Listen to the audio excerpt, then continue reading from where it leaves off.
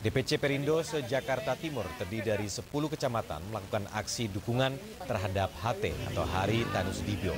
Dukungan ini dilatar belakangi kasus yang sedang bergulir. HT dianggap melakukan SMS ancaman terhadap Kasubdit penyidikan Jampitsus Kejagung Yulianto.